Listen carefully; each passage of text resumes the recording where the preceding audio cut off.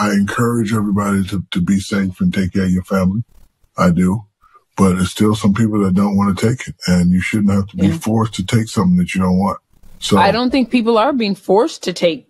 Well, there are some. There are. I mean, listen, we have a mandate at CBS. that's force. we have a mandate at CBS. But my, but my point. That's force. but where I wholeheartedly. That's force. No, it's not force. It is force because if the man don't take it, the man gonna get fired. No, it's not force. That's force. No, it's not force. That's force. No, it's not force. That's force. No, it's not force. Point. That's force. No, it's not force. That's force. That's force. That's force.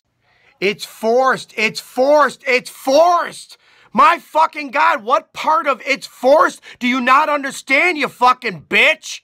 Jesus Christ. If they fucking tell you that you gotta do something or you'll lose your job, it's obvious that it's fucking forced. It's the Kiss My Boner podcast.